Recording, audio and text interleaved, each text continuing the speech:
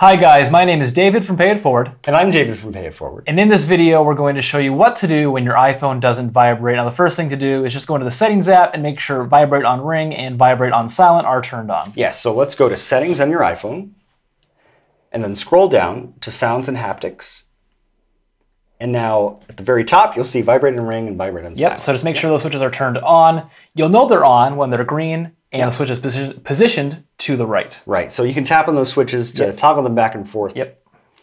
There's another place though. Let's say your iPhone is ringing, uh, but it's not vibrating, and vibrate on ring is turned on. There's another place to look. So underneath sounds and vibration patterns in this part of settings, you'll have individual settings that you can set for Ringtone, text tone, new voicemail. So let's tap on ringtone and then scroll all the way to the top Yep. and you'll see vibration. So tap on vibration. And just like ringtones on your iPhone, there are different vibration patterns too.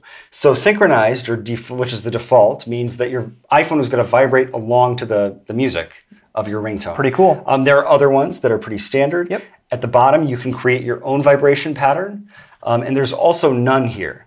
So if none is selected under vibration for ringtone, even if vibrate on ring is selected in the settings app, your iPhone still won't vibrate when it rings. Yep. So make sure that this is set to, let's say, synchronized Yep, default, Let's just, just stick to be with safe. Stick with that for now. Yep. So our vibration is on. Now we're just going to test the vibration motor of your iPhone. So go back to the home screen here, and I'm just going to flip the ring silent switch on the side of my iPhone back and forth a couple times just to make sure that the vibration motor is actually working. Right, and I I bet a few people are going to watch this video and say, "Wait a minute, I didn't know that switch was there." Yep. So just be aware that on the left-hand side of your iPhone, uh, above the volume buttons, there is this ring silent switch. Yep. So we tested that. iPhone still not vibrating. Not vibrating. there is still a potential software issue at play here. So the next step is to reset all settings.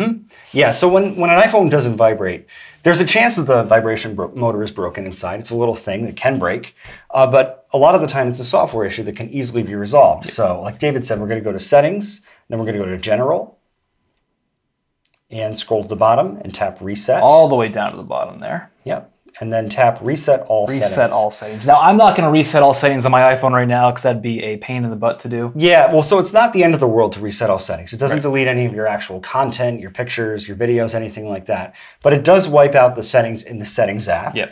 Um, and it, that can have the result of fixing little minor software problems Right. On your iPhone. So reset all settings. I've seen that fix vibration mode Right. stuff. So the last software step here, if reset all settings didn't work, is the DFU restore. Right. So DFU restore is the deepest type of restore you can do with an iPhone, and it basically takes every last bit of code off of your iPhone and puts it back on again. Make sure you have an iCloud or iTunes backup before you begin.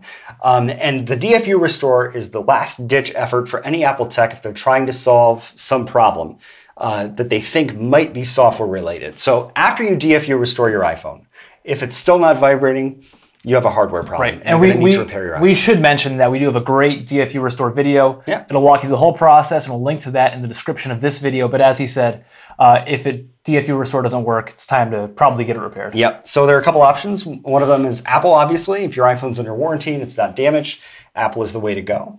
Another option is Cell savers, well, they're called cell savers now. Yep. That's going to change in about a week. Yep. And we don't know what the name is because they won't tell us. No, So- they haven't told us yet. It's going to be a big surprise. So it'll be a surprise to you as well. Yep. We're going to link to that company. Yep. Uh, what Cell Savers or whatever they're called does is they come to you, uh, meet you wherever you are, or in Starbucks, at home, to fix your iPhone on the spot, and you only pay if it works. Lifetime warranty, cheaper than Apple. We like Cell Savers. We like cell savers. We totally recommend them 100%. yep.